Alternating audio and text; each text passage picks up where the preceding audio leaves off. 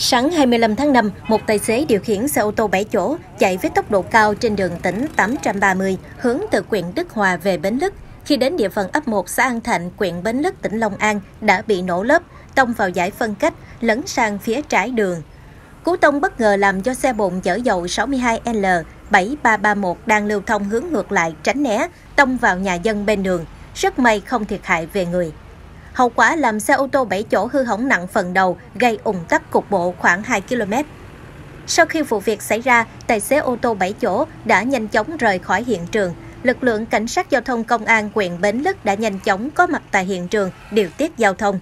Kiểm tra phương tiện, lực lượng chức năng phát hiện xe ô tô 7 chỗ, bên ngoài mang biển số 62A 13839, phía trong lại mang biển số 51G 48703 Phía sau xe có rất nhiều gói thuốc lá ngoại nhập lậu.